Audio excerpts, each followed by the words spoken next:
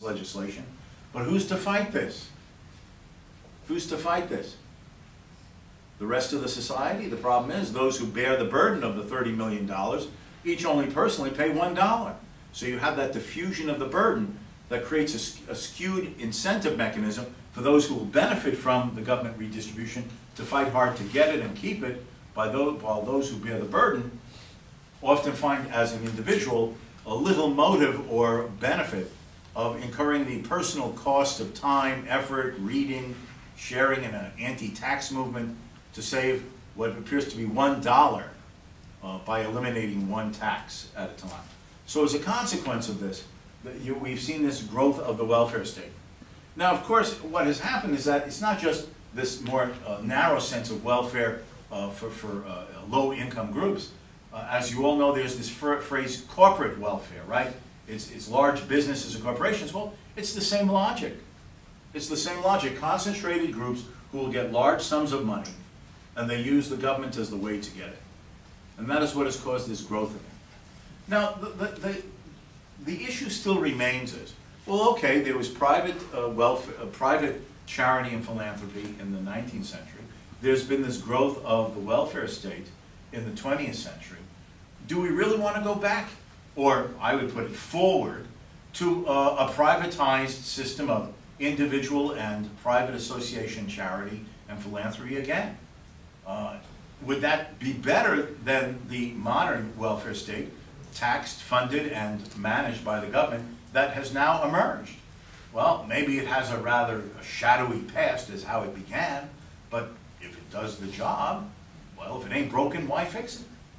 But the question is, has it solved the problem? Is it in fact the mechanism most effective to assist those who it is claimed the, the, the transfers are meant to help? And I would argue purely on this sort of pragmatic or utilitarian basis, a much stronger case can be made on the benefits, the effectiveness, and the efficiency, and the adaptability of private sector solutions to these problems than a continuation or a growth of welfare state programs. Now, why would I say this?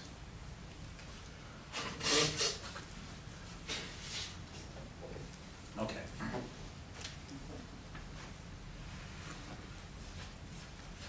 Government bureaucracies,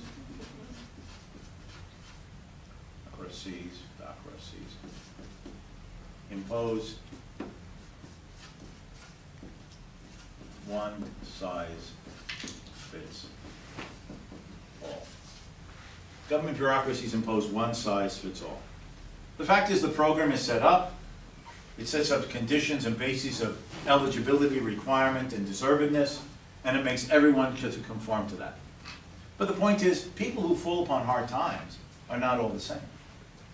Each of them, uh, to use that, that, that, language I used when we talked about Hayek and, and knowledge yesterday, everyone has their own particular circumstances in their localized uh, position of time and place in the society. Everyone's condition is unique, special, different. People are not the same. But the bureaucracy tends to homogenize everybody for bureaucratic uh, management purposes into, into large clumps of groups. How do you know that this is the best way to assist people who fall upon these problems or have had these difficulties or specifically are dealing with these hardships or hurdles to overcome as private individuals who have fallen upon these hard times. Therefore, it tends to be a one-size-fits-all, not adaptive and flexible and nuanced to fit the particular needs of the specific individuals or subgroups to whom assistance seems uh, worthy of being given.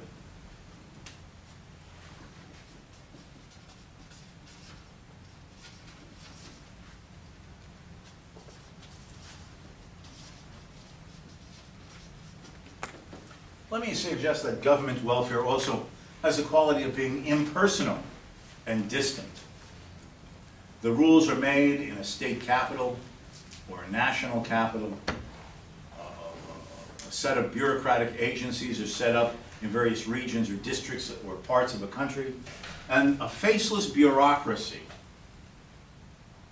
a faceless bureaucracy, who is, who is nothing more than a government employee at a fixed salary with a guaranteed job, right? It's very, I don't know about here, but in the United States, unless someone runs around naked or, or, or, or, or steals, you know, some funds, you can't hire, you can't, excuse me, you can't fire a public employee. I'm not even sure about running around naked.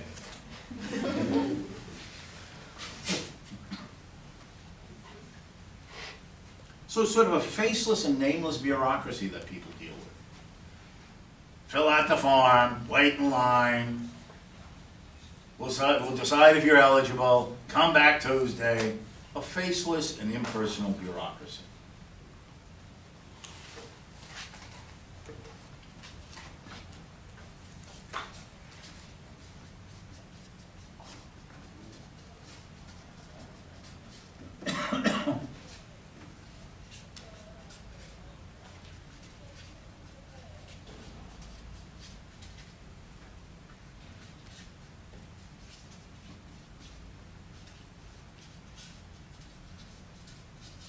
Okay?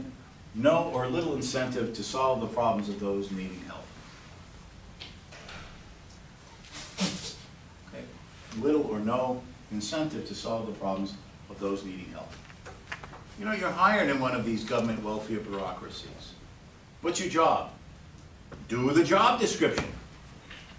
Handle this caseload, fill out these forms, make sure that the paperwork is taken care of, show that you met some basis or or, or, or standard of, of a number of cases you dealt with per week or per month. And then you're, you, you've done your job. It doesn't matter whether the people have been made well, better off, or worse off. All you have to do is just fill the job requirement.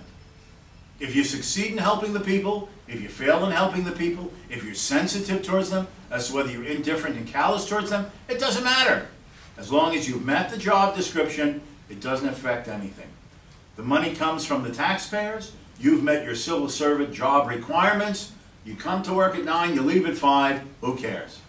It, it makes it a totally perverse set of, of, of lack of incentive for any improvement for those who are supposedly coming to you for help.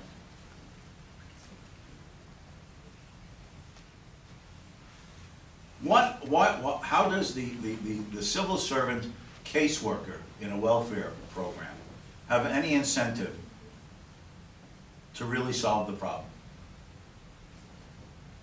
Even if they have come to the job with the enthusiasm of you know feeling that they want to help others in society, so fine motivation.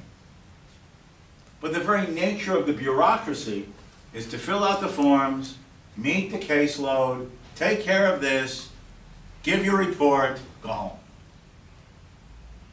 It's a very dehumanizing process that destroys and makes perverse the incentives.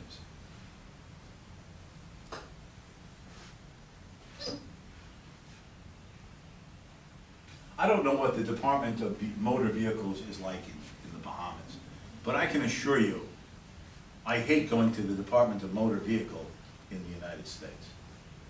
I mean, it's a, it's a perfect example of that faceless and indifferent bureaucracy. Take a ticket, wait you're waiting online, you know, to, to, to, to register your car, to get your license plate. And then by the time you've waited online for over an hour, you get up to the counter, uh, sorry, it's break time. Hello? Yeah, take a new number. I'll be back in an hour. What? And then, you know, you, you, you finally get up to, to the person with the papers, and what happens? You didn't fill out the form right. Fill it out and when I get on the back of the... What? I've been waiting here for four hours. That's your own fault. You, didn't mark the right box. Mark the box. Just erase it now. It has to be... Just follow the...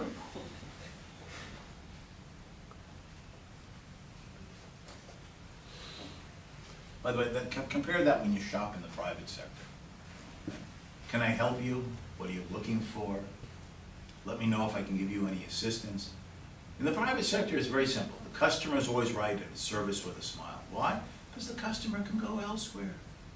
In these government bureaucracies, they monopolize it. Where are you going to go instead? Oh, the, I find this person rude, indifferent, or unhelpful at the motor vehicle department. Where do I go to license my car instead? Yeah, don't drive, thanks.